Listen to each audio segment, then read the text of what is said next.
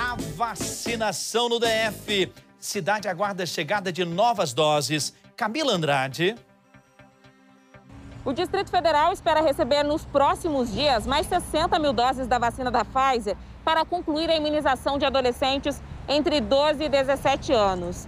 Ontem, segundo o boletim divulgado pela Secretaria de Saúde, a taxa de transmissão da doença no Distrito Federal era de 1,03, o que significa que cada 100 pessoas infectadas transmitem a doença para outras 103 pessoas.